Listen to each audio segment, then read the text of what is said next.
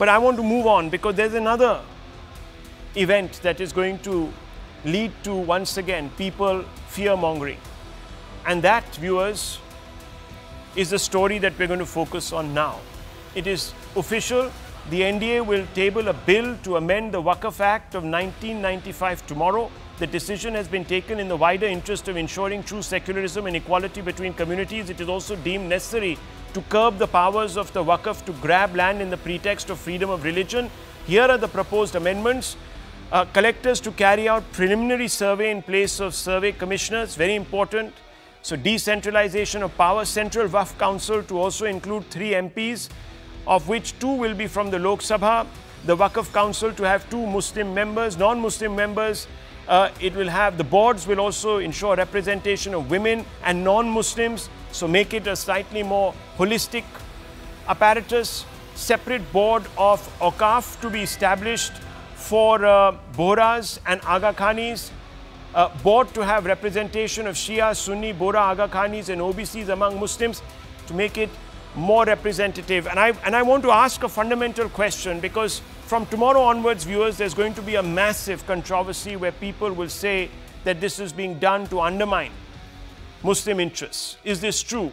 Let me bring in the expert counsel of uh, Vishnu Shankar Jain, who has been somebody who has been pressing for these reforms. Is this amendment good in law? Mr. Jain? See, according to me, this amendment is going as per the tenets of Islamic law. And the most important amendment which is happening is in section 3r of the Waqf Act 1995. Now, what are what is the Islamic law so far as the Waqf definition is concerned? The Islamic law is that you can create any property as Waqf property if it is of your own ownership, if you have acquired it within your own lifetime, and if it belongs to your own ownership, a neat and clean property, that can only be dedicated to Allah. Now, this definition was manipulated by the previous governments and section 3r was introduced which was against the basic islamic tenets. So today that definition i i believe is going to be amended and will be amended. The other most important and crucial part is rahul section 3r of the waqf act had developed a concept waqf by user. So if you don't have any deed of dedication if you don't have any papers you used to say or there was a claim that a particular property is used as waqf by user and it is not just a theory. We have seen it in Bangalore Eidgah Maidan case where an entire Maidan was uh, said that it was being used as waqf by user. So that portion is going to be omitted or deleted is what I believe and this is a very very crucial amendment. Apart from that under section 6 the most crucial part is that the decision of Waqf tribunal is final. That words have been omitted. I believe it's a, a very important amendment because then you have been given a right to appeal before the high court which is a fundamental right which is very very crucial. Apart from that the most draconian section in this waqf act 1995 rahul is section 40 and i believe and i hope that section 40 is getting omitted and repealed completely. It is going to be scrapped which, are, which is a very very important development. Apart from that as i have always told you that in the waqf tribunal out of three judges one judge has to be a uh, the qualification is that he must be a islamic law scholar. That qualification has been deleted. I think now the waqf tribunal will comprise of two individuals from state government and the uh, uh, state uh, judicial service which is a very very important amendment. Apart from that section 101 the criteria of public servant has been amended and section 107 which is very very crucial. Okay. 107 gives them the exemption from limitation act 1963 that has been completely deleted and omitted. Okay. and section 108 where the properties which were under the control of central government administration of evacuee properties act that were given to the Waqf board has been also omitted is what i believe. So these are very crucial amendments. And i think and i hope that this will keep a check on the Waqf uh, powers and the Waqf board okay. as, Dr. Ranganathan, the opposition is fear mongering, saying this is uh, going to reduce uh, Muslims to second class status.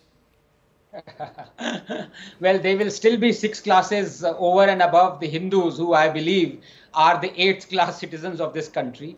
And the Waqf Act is one of the eight reasons why Hindus are eighth class citizens. I uh, revere Vishnu Jain ji and Hari Jain ji, and it is because of their untiring efforts that we have led this country to this situation where we are even talking about this. but may I slightly disagree? Uh, we don't need amendments in this Waqf Act. The Waqf Act needs to be abrogated. Do Hindus have a similar act for their properties? Do Christians have a similar act? Where is the need? When you have laws governing properties, their sale and purchase, their donation for charity or otherwise, why on earth do you need another act to ratify that? So, if India is to be prevented from becoming an Islamic republic, we don't just need to amend the Waqf Act, I'm sorry, we need to abrogate it. This is where I believe that we have given in the reason for appeasement we have now added discrimination against the people who are not Muslims, and that is plain wrong. Let me run you through a few sections. We will give you the extent of draconian nature of this act.